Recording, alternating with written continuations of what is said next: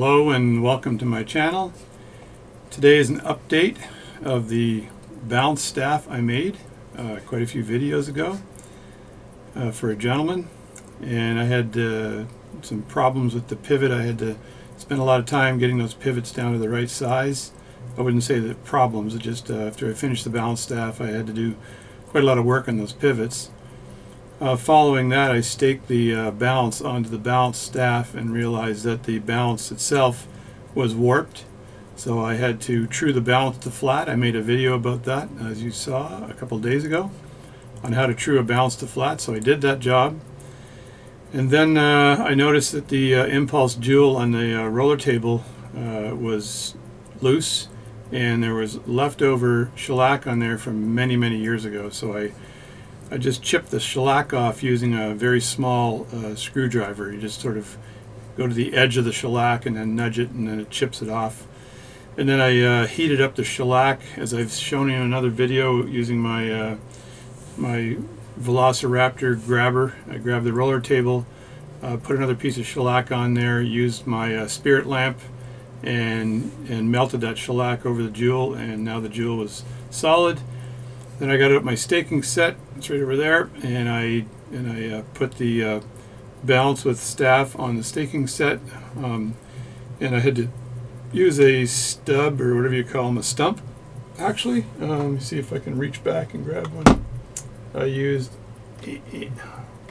I used this stump in particular. Let me put that right under there for a sec. There's the stump that I used, um, and I uh, put that put the balance on the on the staking set with this stump so I had uh, hairspring down.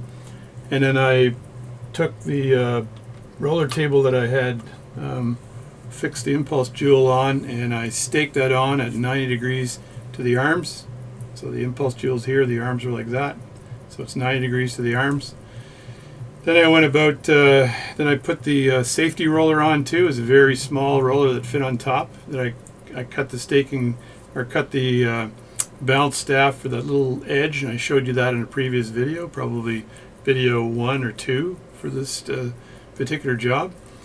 Um, and after I, and I had to make sure that that, that safety uh, roller in the bottom the little U part of it was absolutely lined up um, with the uh, jewel and with the you know, the impulse jewel that's at 90 degrees to the arm. So a lot of hand movement going on here Anyway, I did that, and then uh, I went to put the balance spring on. So I laid the balance over the uh, the movement, and looked at where the jewel was, and the pallet fork, and the uh, and the escapement, and made sure they were all lined up. And then I eyeballed where that where that uh, where the uh, the stud for the hairspring would be, and uh, I made a, a, mental note of where that was in the balance. It was kind of between a screw, and I made a previous mark I saw on there too it was kind of between the two.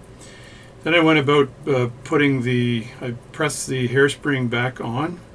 Uh, you can usually press that on and not hammer it down. So I pressed that on with a stake. Um, and I used a, uh, just a, one of these things, jobby doohickeys. I used one of these there and put that down. Then I pressed that on with a stake and um, and then I noticed that the hairspring itself was bent downward. So the stud the overcoil came over, went around, and then it was bent downward a little bit. And the hairspring itself was not riding between the regulator arms, two arms that go down. So that's big, big problem there.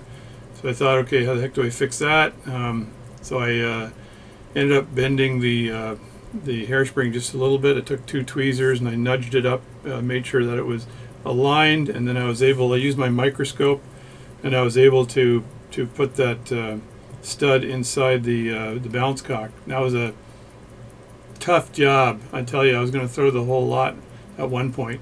So I did it. I got it on, and then uh, and I tightened the screw, and then I moved the whole thing out of the microscope, and I put it on top of a balance tack, and then I tightened the screw again to make sure it was nice and tight. Uh, and then I assembled it back, wound it up, and as you can see, it's actually running super well. Now this watch has another problem with it and I don't have the jewel for it, but the, the jewel has two cracks on both sides. Um, it's still round, the jewel's not offset, but there's two cracks on both sides, so that will have to be replaced at some point in time. uh, more sooner than later, as this is a uh, a uh, Raymond uh, 21 jewel pocket watch, but it's running really well now. I think the swing on the thing is around 360 plus, and that's without cleaning the movement. So I did this for for a gentleman online. He just wanted me to stake a balance onto a new staff, so it became a, a complete adventure. Um, so I'm going to leave it up to him to, to find that jewel and and and replace that, and very carefully remove the balance out. And it's running right now. I think I will probably deliver it back to him with the balance intact. Hopefully, it'll get in there in the mail, unless he wants me to to remove the balance and the balance spring, and he can reassemble it, and uh, and uh, hopefully it'll work for him again. So anyway, the job's done. Um, it works really well right now, uh, so I'm pretty pleased with that. Which means uh, the balance staff that I cut on my lathe was uh, perfect, running really well.